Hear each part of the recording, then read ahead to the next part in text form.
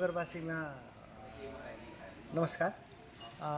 धनगढी उपमहानगरपालिकाले जति पनि प्राइभेट स्कुलहरू छ यो प्राइभेट स्कुलको यस वर्ष चाहिँ नि फिस वृद्धि नगर्ने भन्ने निर्णय गरेको छ।